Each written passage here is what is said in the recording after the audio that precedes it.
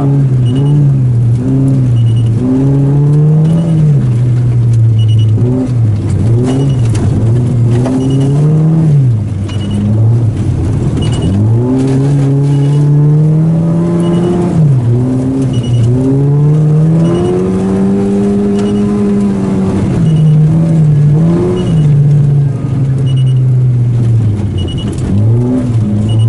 Τέτοια θέλω να βλέπω. Μπράβο!